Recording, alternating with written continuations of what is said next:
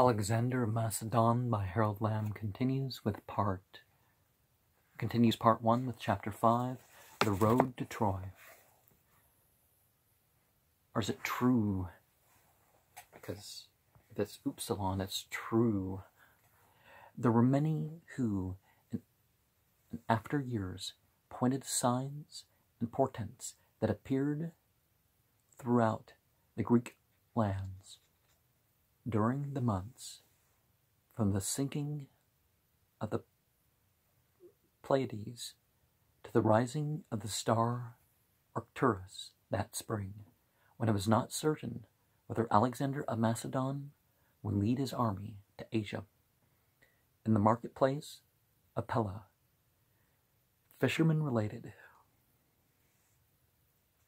how the seeress of Delphi had refused to prophesy whether the Asiatic venture would succeed or not. When Alexander had insisted that she speak, she only said cryptically, Ah, you, Alexander, you will always have your way. The fishermen wondered if this were a true prophecy or not, and whether Alexander were truly their king, the son of Philip, or the son of the godfather, born out of the witch woman Olympias, had he not in three days reduced mighty Thebes to fly-infested blood and charcoal and broken marble, a fate more catastrophic than the hero Achilles had administered, aided by the gods, to true itself in their highlands. The hard-headed Macedonian farmers likewise begin to wonder about the soft-spoken man with the beauty and strength of a Heracles, who had held his head on one side and listened to them, his blue eyes eager and friendly, when he told them how to doctor the ills of their horses and how to brew fruit juice and balsam for their own fevers. With the build of an athletic, with the build of an athlete, able to break a sarissa's wooden shaft between his hands, he avoided the physical struggle of pugilists or wrestlers shrinking back from a battle's engagement. He had plunged three times into the heat of a battle at Chaeronea, uh, at Pelion, and Thebes, like a drunkard rushing to a feast. These peasants and horse-breeding nobles of Macedon had understood Philip. They did not understand his studious, absent-minded son, who wrestled with dilemmas in his tent by lamplight, poring over manuscripts as if performing the ritual of a strange shrine before plunging into monstrous action.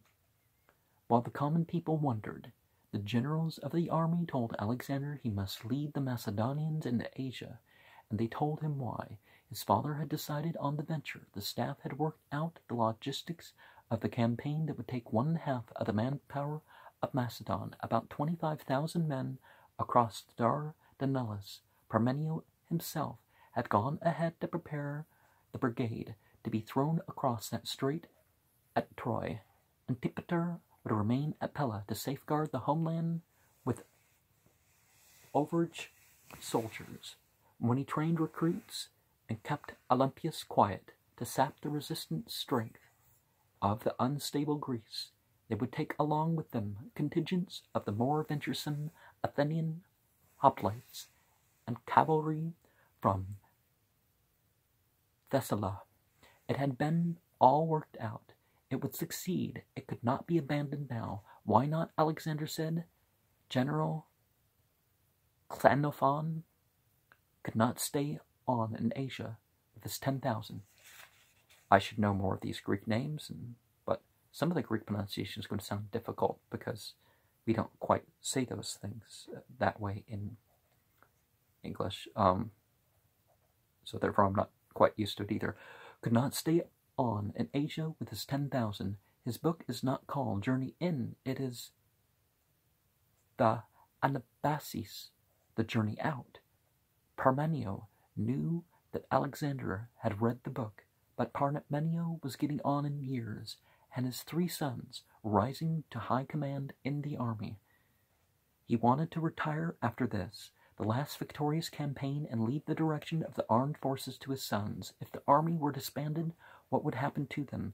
The risks had been calculated.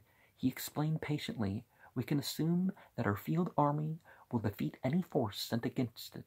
Even if that is so, we have no hold on the sea. The Persian fleets are in the waters, but Parmenio pointed out the route would be along the land, except in the narrow Dardanelles, Dardanelles, and he had provided against failure there by running a slight risk so they could win immense gains. They could liberate the rich Ionian coast opposite Greece with its historic seapoints of Miletus and Ephesus, where the seven sleepers slept, Halicarnassus, where